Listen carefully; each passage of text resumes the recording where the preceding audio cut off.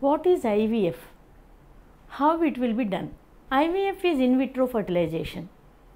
It is a ART procedure, assisting reproductive technology. So, you are the couple. You are not the diseased persons. You are not patients. You are the couple. Where you seek some help from us. So, usually the fertilization occurs in this tube, fallopian tube, I told you in the other video. So, what is IVF? Why you should undergo IVF procedure? Suppose if naturally the fertilization doesn't occur, if there is any problem in the fallopian tube, if there is any problem in the inner layer of the fallopian tube, that is pelvic inflammatory disease, if there is any problem in the endometrium, if there is any problem in the implantation of the embryo in the endometrial cavity, if the quality of egg, egg is not very good, if the quality of sperm is not very good, if the fertilization is not happening, sometimes fertilization will not happen. So, that is one of the reasons for unexplained infertility. See, you take so many drugs, you take uh, at least minimum 2 years, 3 years, keep on taking some drugs, you will go to some doctor and the doctor will treat you for 6 months period. And again the doctor, again you will go to some other doctor, the doctor again restarts the all the tests and then again starts some treatment.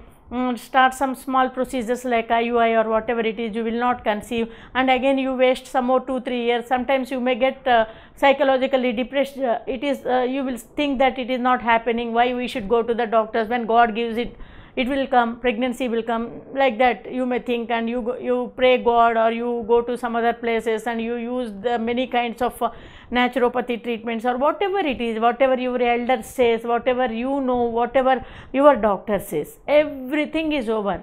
Till now till now you have not conceived then what is the option? You have to go for certain procedure it may be an ivf what is ivf IVF is in vitro fertilization. When the process of fertilization doesn't occur naturally, that is in vivo fertilization doesn't occur, then we are going in vitro fertilization process. Where it occurs? It occurs inside the lab. So, is it unnatural? No, not at all. It is a natural way, but we are assisting you. It is your wife's egg we are taking, it is husband's spermatozoa we are taking, we are just helping them to mate together okay meet together or mate or to become fertilized. We are helping in the process of fertilization.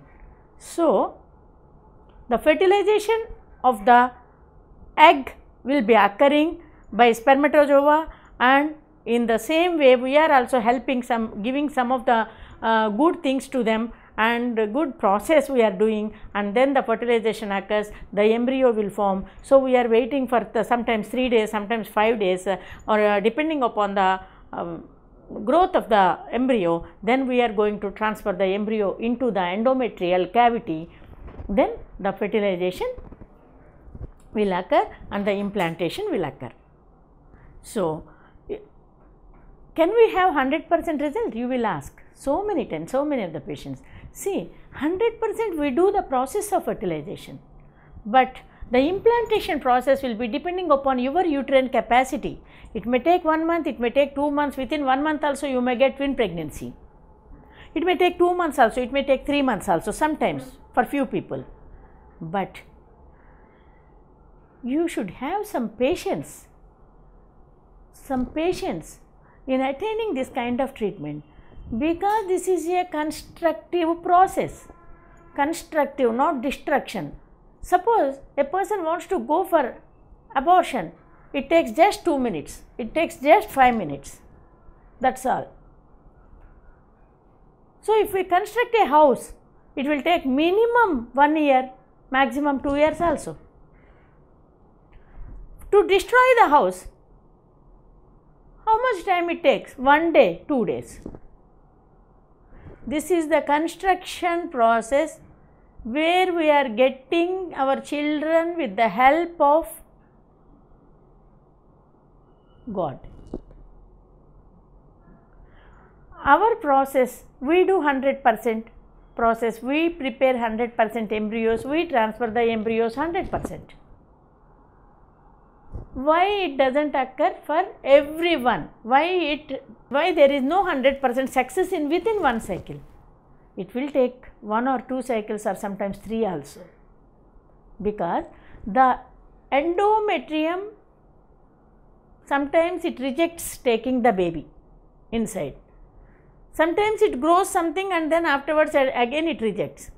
Sometimes because the babies may be little bit abnormal, see we cannot see it normally even after the process of fertilization, maybe some of the genetic abnormalities, maybe something else. And your egg is yours, your egg is not foreign for your endometrium, but your husband's sperm is foreign for your endometrium. So that time also sometimes it will reject.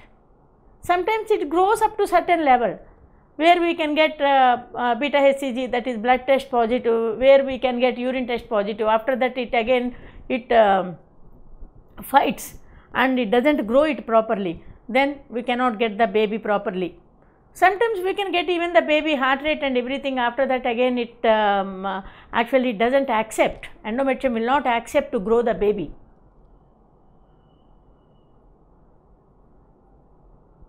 So, this is the this is how uh, after in vitro fertilization also sometimes you may get pregnancy within one month, sometimes you may get a twin pregnancy within one month period in the you will get a definite result. And you should be very very happy, you should be very careful. You should not think so much, you have to think definitely you will get pregnancy and you, you have to meditate and definitely you will get the result. You may require the support from elders. One of you, some of your mother, maybe aunt, maybe mother, they have to help you. They have to give you confidence. First of all, your partner, your husband should give you the confidence. Then definitely it will be successful. It may take one or two months. Definitely it will be successful.